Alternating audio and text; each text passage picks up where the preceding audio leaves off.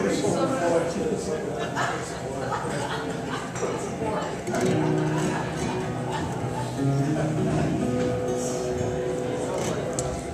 a song I wrote called Love I Had in Mind.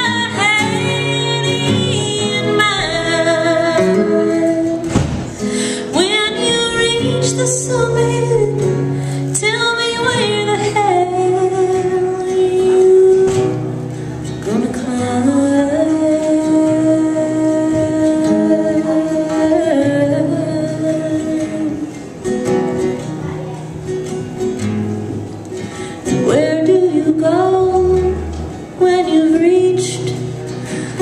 Live